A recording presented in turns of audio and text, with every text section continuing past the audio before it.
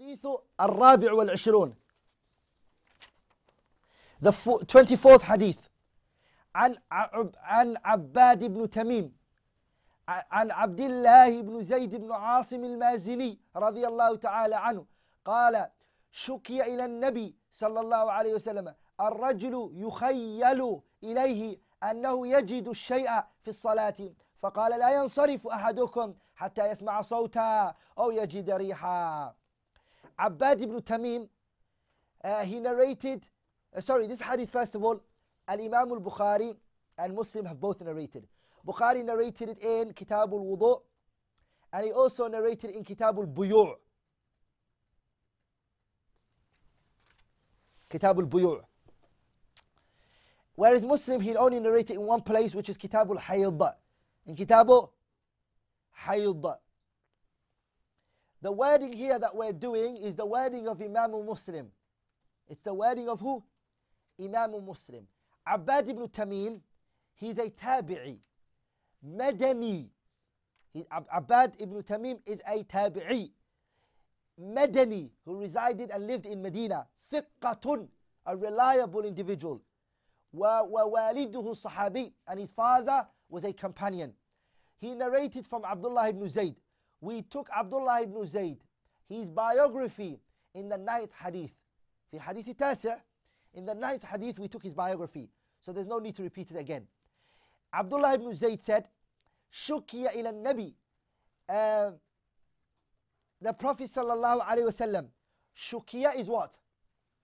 Shukiya is what the Nahwiyin, the grammarians know as مبني للمجهول مبني للمجهول أما المفعول الذي لم يسمى فاعله It basically means that the Prophet sallallahu alaihi wasallam it was complained to him. The person who complained to him is unknown. That's why they would use the word shukiya, duriba, futiha, like duriba. He was hit. So if you hear ضم أوله make if it's a وزن ثلاثي three letter word فعل ماضي how do you make it a unknown uh, that the person who did it is unknown, how would you make the word into that? So the word daraba, make it into a anonymous individual who did it. So you say dhu by making a dhamma on top of uh, uh, dhamma on top of the dad. Second, you make is a, a kasra before the last letter. Kasra before the last letter. So it becomes dhu ri ba. So you, we don't know who did the hitting now. But da raba, we know who done it. You have to mention the fa'il. But dhu riba, you don't have to mention the fa'il. The same way is shu kia. The person who did it is also complaining, we don't know in that hadith. But with other narrations, we found out who is the person who complained to the Prophet. Ah. It is Abdullah ibn Zayd himself. As it says Sahih al-Bukhari. Bukhari clearly mentions it that it was him. Uh, so uh, the Prophet ﷺ, Abdullah ibn Zayd complained to him. He said, الرجل يخيل إليه. Uh, a person uh, is, is seeing things. Uh, waswas. He sees things in a way. Which is what? أنه, أنه يجد شيء في الصلاة. He thinks that something's coming out of his uh, the, the back passage. He thinks that he's passing wind. That's what he believes. Ha. That's what he believes. That he's passing wind. So there's a shak to this person. Um, then the Messenger sallallahu alaihi wasallam said, لا ينصرف. He should not exit. أحدكم, one of you should not exit his prayer. حتى يسمع صوتا until he hears a noise. أو يجد ريحا or he smells it. Smelling it or hearing it is what? Is the only two things huh, that you can leave the salah uh, for in terms of passing wind. If you're in doubt, huh, whether you did it or not, certainty is what you use to get out of it. أو يجد ريحا. فقه الحديث, the fiqh that's connected to this uh, hadith. The first thing is the, this hadith, the fiqh in this hadith is what? هذا الحديث, this hadith من قواعد الإسلام أما من قواعد الدين الجليلة. This hadith is one of the ahadith that have high and great principles. Huh? Great principles. And that principle is that qaida, that principle, that foundation that it has, many principles have been built on top of this foundation. many principles أصول العامة التي تبنى عليها الأحكام الكثيرة many rulings have been taken from this hadith and been used and what is the قاعدة that it has which is بقاء الأحكام that the ruling remains المتيقنة على أصلها that the ruling which is the certainty will remain and it cannot be diverted with doubt ما لم ينقضها الدليل واليقين unless there's come, there comes another evidence or another certainty that removes that certainty the person had a tahara he knew he had tahara he is certain about the tahara that he had but he is in a state of doubt whether he broke it or not he will stick with the certainty and the doubt that came to him should not remove the what the certainty that's already there the second qa'idah that is taken from there which is لا يبنى على الشك شيء doubt is never based on anything shak and doubt and assumptions and speculation rulings are not based on that أصلا why فلا بد من اليقين certainty is required because فإن الظن لا يغني من الحق شيئا because assumptions and speculations and suspicion it does not suffice you for anything and it cannot do anything in the eyes of haqq the truth is certainty third one is لا ينبغي الاستسلام it is not required and one should not submit himself to what الوسواس one should not submit himself to what whispers of shaitan waswas والخيالات الشيطانية and the, the way shaitan makes you see things don't submit yourself to that and believe it don't if you think you've not done wudu in a particular part of your body carry on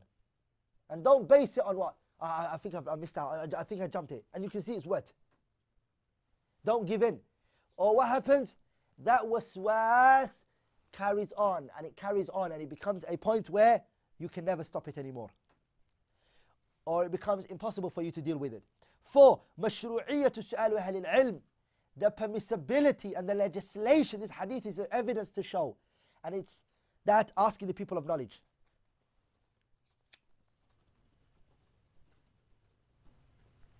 five this hadith is also a qaida a foundation for what the qaida which is al-istishab al-hal al-istishab which is what بقاء ما كان على ما كان that everything remains at it how it was until proven not everything is at its original essence until proven to it to go this hadith is an evidence for it ah everything is left at its original essence until proven uh, not number 6 the wind that comes out from the back passage it breaks your wudu it does not matter if it smells bad or good. It doesn't change anything. If it smells good, or it doesn't have no smell to it, or if it smells bad, does not matter. Wind comes out, it has what? It breaks your wudu. Seven.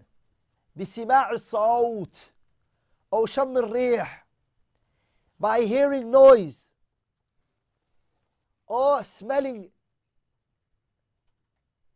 it certainty is that that is certainty that is certainty the eighth point which is that it is haram تحريم الانصراف من الصلاة that it's haram to leave the salah دون بينة واضحة وسبب جلي that it's haram to exit the salah without clear cut evidence to leave it a mas'ala or a point that needs to be alerted. So that was the eight points. But there's a point that needs to be emphasized or spoken about, which is what? إذا تساوى الاحتمالان. What about if my suspicion, the suspicion I have, the speculation that I have, and the certainty I have are the same? 50-50. 50-50. Again, فلا وضوء عليه. There is no wudu on you. Because why? Shak is a fara, it's a sub branch. The certainty is the asal. So we remain on the asal. Two, if a person is certain that he had no wudu, he's certain. Yaqeen, pay attention. لو تيقن الحدث the person is sure that he had no wudu وشك في الوضوء but he said did I do wudu or did I not فهو محدث this person has no wudu يجب عليه الوضوء wudu is wajib on him why because here the asal is that you didn't know the asal is you didn't know and the certainty is that you didn't know you had wudu sorry um, a person doesn't have wudu he has no wudu He's now saying, mm, Did I do wudu or not? Are you all with me? A person doesn't have wudu. He's saying, Did I have wudu? Did I do wudu or did I not? Which one is he certain about? The fact that he didn't have wudu. He's certain about it. He's now questioning whether that wudu, uh, sorry, that impurity that was on him was uplifted from him and that he purified himself. And the wudu, he's in a state of doubt of that. The certainty is what we remain with and we stay with that. Now, Al Hadith Al the 25th hadith. عن أم قيس بنت محصن الأسدية أنها أتت بابن لها صغير لم يأكل الطعام إلى رسول الله صلى الله عليه وسلم فأجلسه في حجره فبال على ثوبه فدعا بماء فنضحه على ثوبه ولم يغسله This hadith, Imam al-Bukhari narrated it in his Sahih. He narrated in Kitab al-Wudu and in Kitab al-Tib. Kitab al-Wudu and in Kitab al-Tib. And the wording is his. This wording of the hadith is his. Muslim narrated in Kitab al-Tahara. Kitab al-Tahara. The Sahabiyah who narrated the hadith, her, she is Umm Qais binti محصن بن حدثان bin Qais al-Asadiyah. There is a very famous, there's a big khilaf, sorry, well-known khilaf regarding her name that they have. But she's known very well for what? But she's known for, she's known for her kunya. She's known for her uh, kunya. She is the sister of Ukasha bint Ukasha ibn Muhsin. She is the sister of who? Ukasha ibn Muhsin. Who knows Ukasha ibn Muhsin? Ukasha ibn Muhsin. Ukasha uh, ibn Muhsanin. Who knows who he is? He. Hiya? He's the man who was promised the 70,000 in the hadith. It's her brother that the Prophet ﷺ promised him that he's from the 70,000 that's going to enter Jannah بغير حساب ولا عذاب he is him she is uh, Umm Qais his sister who narrated this hadith هي الصحابية she is a noble female companion أسلمت قديما she took Islam early in Mecca وبايعت she gave pledge of allegiance to the Messenger صلى الله عليه وسلم and she migrated to Medina Imam al-Bukhari and Muslim both narrated her hadiths أم قيس بنت محسن الأسدية she said um, that she أنها أتت that she came she came بابن لها a child of hers her son بابن لها her son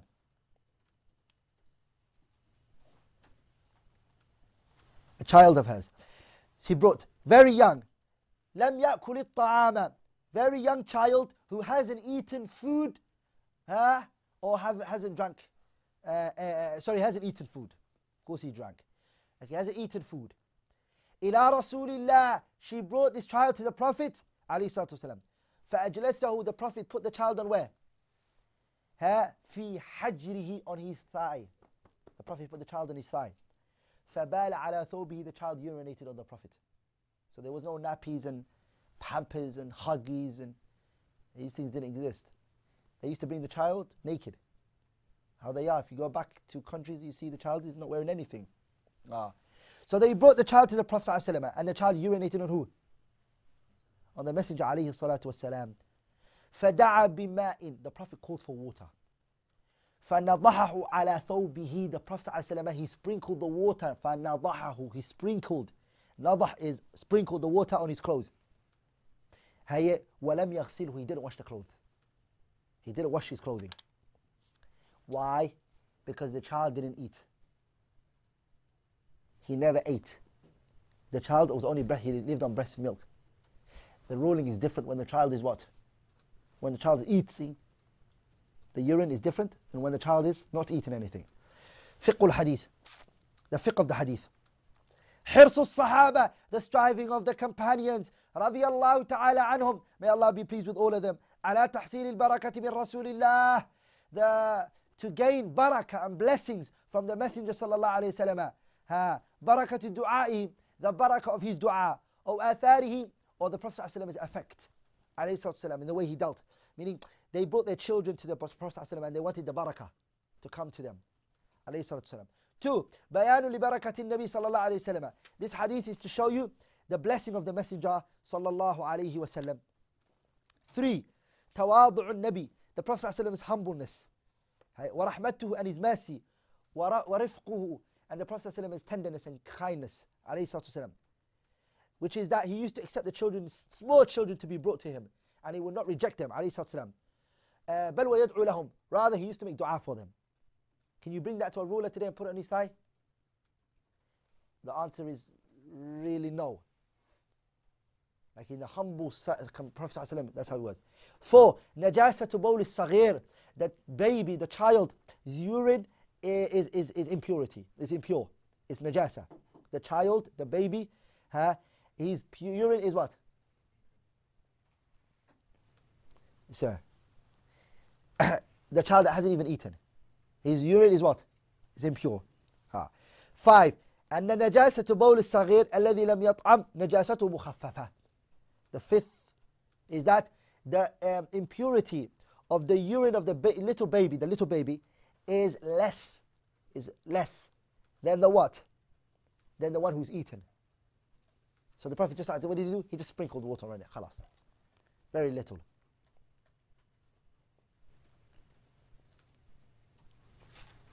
Number six, that it's sufficient to sprinkle water huh, on the place where the child urinated on huh, if this child is a child who has not eaten. Seven, seven the difference between sprinkle and washing. دليل على الفرق بين النضح والغسل. The difference between the sprinkle and huh, and washing. Number eight, the boy who has not eaten is not the same as the girl. The girl, whether she eats or she doesn't, is washed. You with me? The girl, whether she eats or not, she's not the same. We're talking about a boy. Number nine. The scholars they mention the hikmah, the wisdom behind why the boy has been made different to the women, to the girl to the girl. Why the boy has been made different to the, the girl. Ibn Hajar rahimahullah, he mentions in his kitab Fathul Bari, he said rahimahullah ta'ala, the reason is because the people's soul in the nufusa, the, the, the people are more attached to the male, the boy, than they are to the girl. The people are attached more to the what? They are attached to the boy than they are attached to the uh, girl. They are attached more to the they are attached more to the boy than they are to the girl. Hey, so what's the hikmah? What's the wisdom? Because the people are attached to the boy, they will keep the boy more on their thighs, and the boy will remain more with them, and he will urinate the more times, and it will be hard for the people to always clean it. That's the wisdom Ibn Hajar rahimahullah ta'ala mentioned. So then he said the Sharia gave a rukhsa for that reason. Um, there's a hadith narrated by the Messenger sallallahu alayhi wasallam where he said, um, يُرَشُّ مِن بَوْلِ الْغُلَامِ The boy's urine, it would be what? It would be sprinkled. وَيُغْسَلُ مِن بَوْلِ الْجَارِيَةِ But for the girl's urine, it will be washed. So that hadith um, is the view that's the strongest, is that the boys and the girls are different, uh, and that the girl whether she is eaten or she's reached a ti- uh, the stage where she's eating or before eating, it doesn't matter. The girl's urine is what? Um, needs to be washed regardless. Uh, the boy is different when he's when he's not before eating stage. نعم.